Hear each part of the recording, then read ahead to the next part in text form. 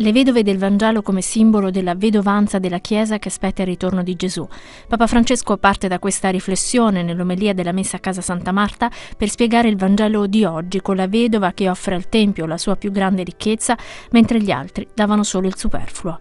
La Chiesa, quando è fedele, sottolinea il Papa, lascia tutto in attesa del suo Signore. Quando non lo è, cerca di arrangiarsi con altre sicurezze, più dal mondo che da Dio.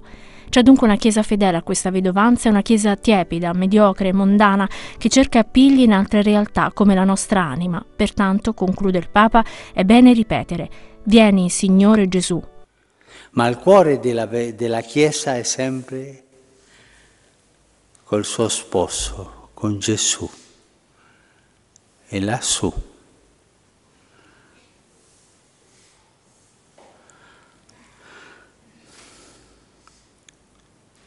Anche nella nostra anima, secondo i padri del deserti, si assomiglia tanto alla Chiesa.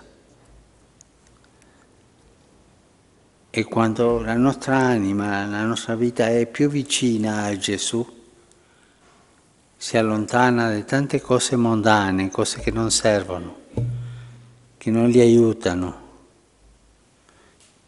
che li allontanano di Gesù. Così è la nostra Chiesa, che cerca il suo sposo, aspetta il suo sposo, aspetta quell'incontro, che piange per i suoi figli, lotta per i suoi figli, dà tutto quello che ha perché il suo interesse è soltanto il suo sposo.